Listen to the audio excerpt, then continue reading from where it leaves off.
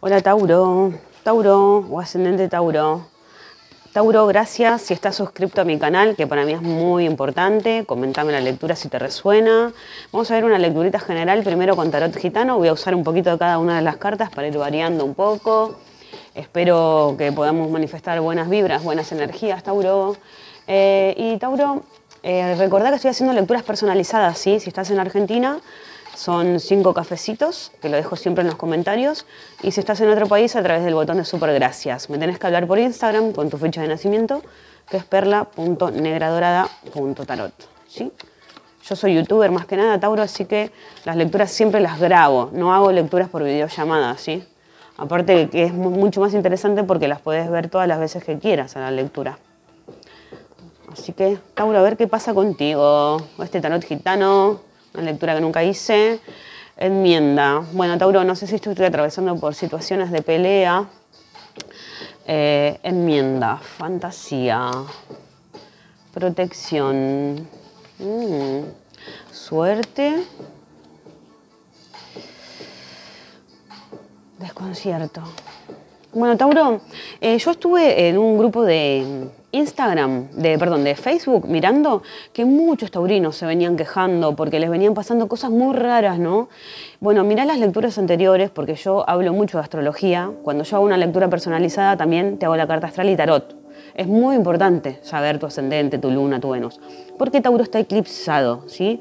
Entonces, yo lo que les decía a los taurinos en los grupos de Facebook es que están eclipsados, no es que es magia negra o, digamos, yo no creo puntualmente en eso, hay otros tarotistas que tal vez sí, ¿no? Pero esos son los más católicos, yo no soy católica, soy astróloga, digamos, entonces, eh, y tarotista, ¿no?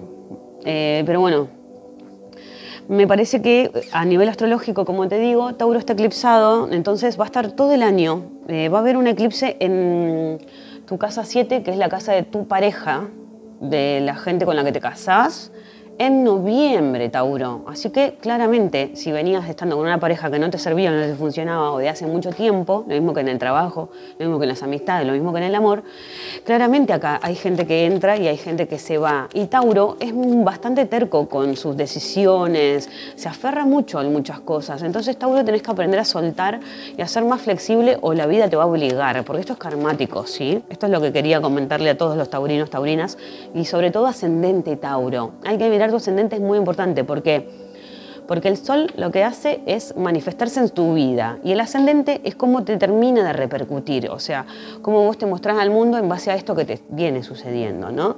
Entonces salió la enmienda. Puede ser que haya peleas, ¿no? o que vos fantasees con esto de que te digo, hay gente que te envidia. Bueno, yo voy a subir una lectura igual para ver si es cierto que hay alguien que te envidia o no. Ahora, bueno, entonces, parece ser que la lectura habla de que te peleaste con alguien y que fantasías que te tenés que proteger de esta persona. Y tal vez simplemente nadie te está haciendo nada, ¿no? O por ahí simplemente sí te das cuenta que hay alguien que te está haciendo algo, ¿no?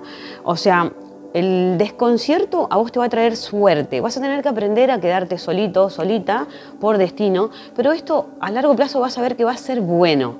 No te digo acá y ahora, pero tal vez el año que viene te empezás a dar cuenta que, wow, qué bien que me saqué de encima toda esta gente, ¿no? O sea, pelearte realmente con alguno o algunas, no a trompadas, no con golpes, pero sí eh, simplemente alejarte eh, googlea lo que es psicópata narcisista, todo eso, ¿no? Porque ahí es cuando vas a despertar espiritualmente. Tauro está atravesando por un despertar espiritual y por esto se va a alejar de algunas personas y por esto va a elegir a personas nuevas, ¿no? Entonces, Tauro, te va a traer suerte aprender a ser flexible y a no tener ninguna certeza. Ay, Tauro, por favor, espero que lo puedas trabajar bien, ¿no? Porque es algo muy difícil para Tauro. Mira, bueno, acá hay una mujer claramente, ¿no? Que quiere hacer la paz, que quiere estar bien con su familia, que quiere formar un nuevo hogar y se corta. Sobre todo si sos taurino hombre, ¿no? ¿Qué ha pasado con tus familiares? ¿Qué ha pasado con la gente en tu vida? ¿Qué ha pasado con esta gente que vos pensabas que era buena y te das cuenta que no lo es, ¿no? O simplemente viene saliendo siempre lo mismo. Eh, algunos parientes, eh, por ahí Tauro viene teniendo problemas también, ¿no? Y algunos parientes se le, se le van, porque claramente acá una mujer del entorno familiar no quiere estar más. Y bueno, este desconcierto vos te va a traer suerte. A largo plazo te vas a dar cuenta por qué, ¿no? Hay algo que pasa acá en esta situación. Esta mujer parece ser buena, pero por algún motivo se va a alejar, ¿no? Tauro te salió como energía chamánica del momento de sanación, te salió la rana. La rana tiene la capacidad de la metamorfosis, o sea, de la transformación a gran escala. La transformación nos permite adaptarnos a los cambios de forma natural y fluida. Como te digo, acá salen cosas todo el tiempo, ¿no? Entran cosas todo el tiempo. Conectate con la rana. Hace una meditación con estos animalitos de poder que es muy bueno, es muy positivo. O sea, acá claramente, en tiempos de cambios, dice, invoca este poder de este guía que sabrá mostrarte cuál sendero te conduce a una real transformación de tu ser. Esta carta es una clara señal que el cambio es hoy y que te debes permitir transformarte en lo que deseas ser. Por eso te digo, por ahí a veces uno está rodeado de gente que no le permite crecer, ¿me entendés? Eh, y vos eh, por ahí te estancas porque tenés el nodo norte en Tauro. O sea, vos tenés que aprender, tenés que transformarte para tener tu nueva personalidad y realmente darte cuenta de quién te ayuda a crecer y quién no. Es muy importante, ¿no? Vos tenés que transformarte en lo que deseas ser. Si tenés que cambiar de amigos, cambiarás. Si tenés que cambiar de pareja, cambiarás. Si tenés que cambiar de trabajo, cambiarás, Tauro. Anímate, porque acá claramente dice que te vas a tener suerte arriesgándote a lo que, al desconcierto, a no saber qué puede pasar, a soltar el control, sobre todo. Tauro, me encanta esta energía igual, ¿eh? me gusta, me gusta mucho. Comentame si te resuena. Si estás en Argentina, puedes colaborar a través de Cafecito conmigo y del botón gracias. Y por una lectura personalizada, háblame por Instagram y te digo cómo hacer. Bueno, Tauro, vamos a sacar las energías de hoyo por último energías para Tauro. ¿Ves? Ay, me muero, me mata. Ay, me encanta. Claro, em, a ver, Tauro, es así. ¿Ves esta persona como está aferrada al dinero? No sé si sos vos o es otra persona. Por ahí si sos hombre, una mujer estuvo aferrada eh, a vos por el dinero, ¿no? Y te das cuenta que hay personas que, eh, que no les importa tu dinero. Eh, o sí, ¿no? Hay que integrar esto. Y realmente Mm, a ver, puede ser que haya gente muy, muy, muy interesada de la cual vos tengas que soltar porque realmente te estresa, ¿no? Es muy importante.